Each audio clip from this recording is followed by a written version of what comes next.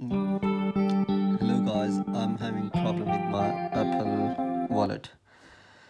It's not letting me add my bank ca bank card into my Apple wallet. So what I did, if I go to settings and then I go down to generals and then I need to find out language and region. And if I go down, you can see my region is selected as a Pakistan, which I need to change into UK because right now I'm living in UK press continue.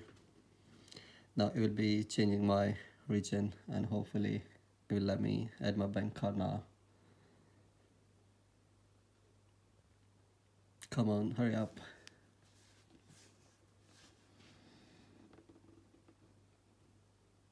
Yeah so now you can see my region has been selected as a United Kingdom. If I go back down go to my wallet and see yeah it let me add now add credit or debit card